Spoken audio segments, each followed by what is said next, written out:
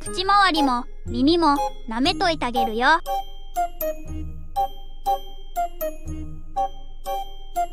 先にタオルで拭いてくれとるのに。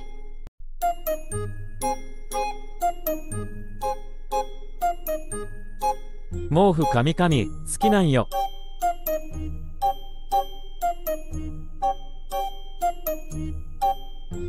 みつこに重たいけど。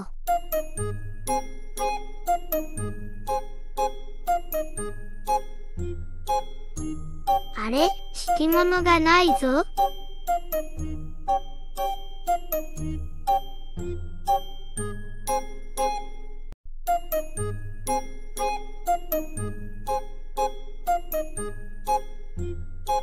じゃけん、もう寝よや。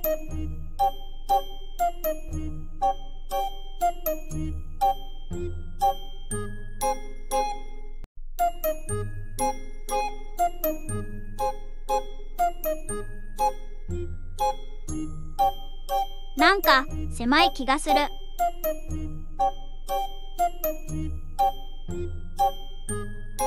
おやすみなさい。